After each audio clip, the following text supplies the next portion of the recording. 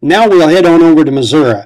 This is a piece of property that lays along Interstate 55 about halfway between Perryville and Cape Girardeau.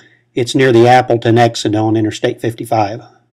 There's 301 acres with 211 acres tillable.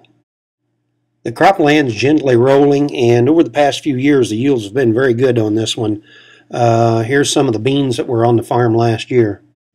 The owner is an avid quail hunter and has kept quail populations up, but as you can see, there's a lot of turkey on the farm as well. With the grass filter strips and the wooded waterways and all, there's also a lot of habitat for deer, and uh, it's just been a good hunting farm over the years for the owner.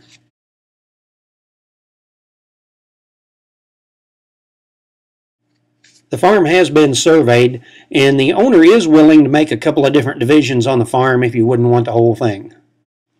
It's about 15 minutes into Cape Girardeau or Perryville, so I believe it would make it about an hour and a half out of St. Louis.